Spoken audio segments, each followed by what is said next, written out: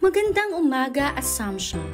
Andito na naman kami para sa ating lingguhang simbahagi upang pagyamanin pa ang ating kaalaman tungkol sa kasaysayan ng simbahang katoliko sa Pilipinas.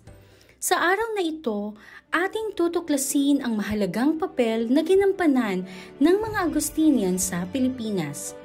Ang mga Agustinian ay maraming naiambag sa ating kultura dala ng kanilang impluensyang mula sa kanilang misyong apostoliko ng nakaraang kalahating milenyo. Sila ay dumating sa Pilipinas noong taong 1500 at 65 sakay ng ekspedisyon ni Legazpi at Urdaneta. Ang paring si Fray Martin de Rada na isa sa limang praileng lula ng barkong dumaong sa Cebu ay naging instrumento sa pagiging kristyano ng Cebu.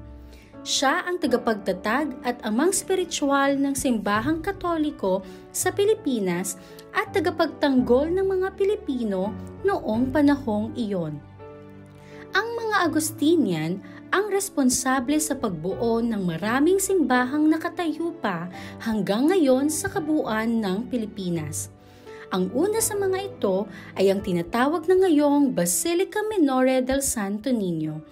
Ang pambansang palatandaan na ito na makikita sa Cebu ay pinagkalooban ng titulong Basilica Minore ng ika-anim na Santo Papang Pablo noong taong 1965. Idineklara niya ang basilikang ito na simbolo ng kapanganakan at paglago ng Kristyanismo sa Pilipinas.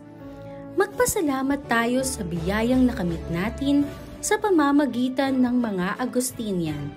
Kami magbabalik sa susunod na Miyerkules.